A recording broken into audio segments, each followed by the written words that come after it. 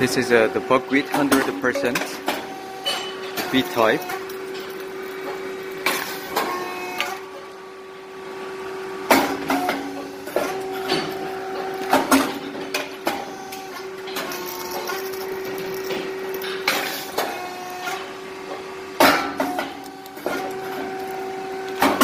Buckwheat 100% pops well.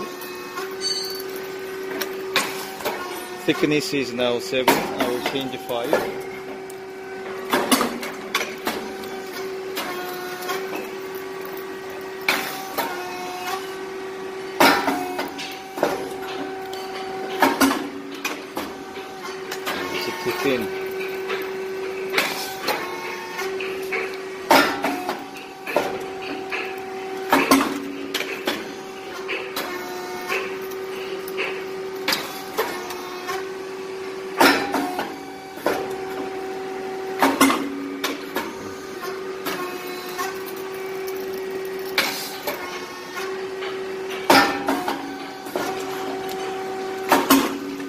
Thank you.